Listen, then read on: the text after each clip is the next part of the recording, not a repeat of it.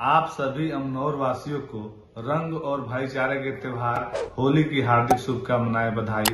आज हम संकल्प लें कि इस वर्ष हम लोग नशा मुक्त होली मनाने का संकल्प लें क्योंकि नशा ने अमनौर सहित सारण जिला के कई भाइयों को, परिवार को हम लोगों से छीना है और अब हम लोग आप सब में से किसी को खोना नहीं चाहते हैं।